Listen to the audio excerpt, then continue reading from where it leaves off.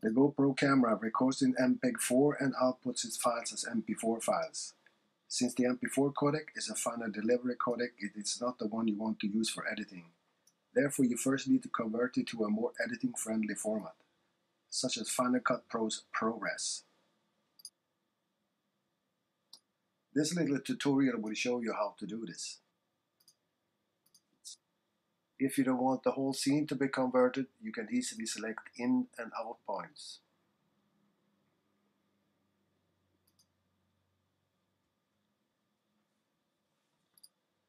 Okay, now go to File, Export to QuickTime, and select uh, Apple ProRes 422. Set to highest quality, deselect interlace scaling, and leave everything else as it is. Make movie.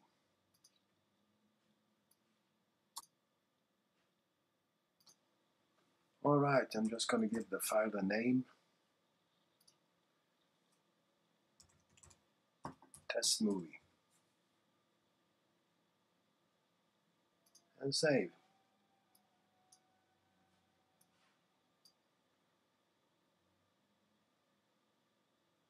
Okay. That's it. We now have a high quality editable movie ready to be imported into Final Cut Pro. If you have a lot of movies you want to be converted, no problemo. Choose batch list. Select as many scenes as you want and just drag them into the batch list.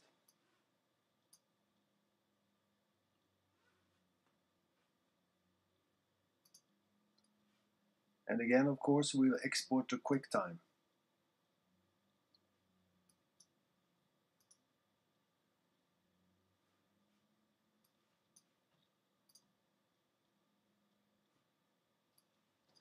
I'll leave the settings unchanged.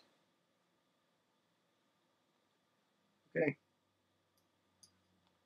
To batch.